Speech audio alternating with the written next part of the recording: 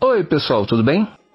Caso seja a sua primeira vez aqui no canal, considere se inscrever, curta o vídeo e compartilhe se você gostar do conteúdo. E se você já faz parte de nossa família e quer ajudar na nossa produção de vídeos, seja membro. Isso contribuirá para que aumentemos nossas pesquisas e qualidade dos vídeos.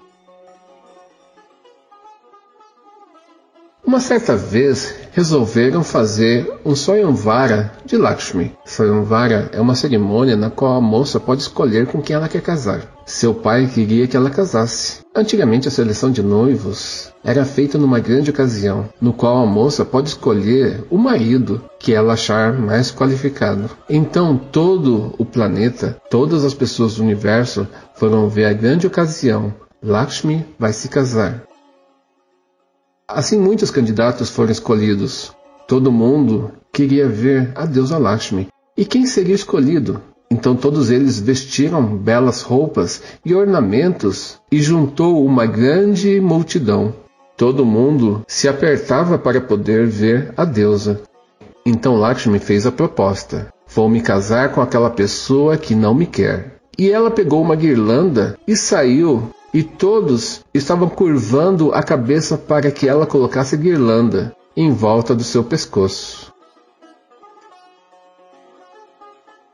Lakshmi caminhou em linha reta.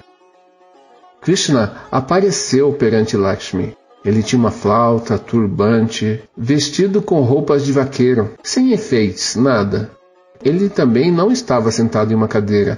Ele estava sentado sobre uma bela árvore tocando sua flauta. E Lakshmi disse: Essa pessoa é muito boa para mim, porque ele não me quer. Então ela caminhou e se aproximou de Krishna e colocou a guirlanda em Krishna.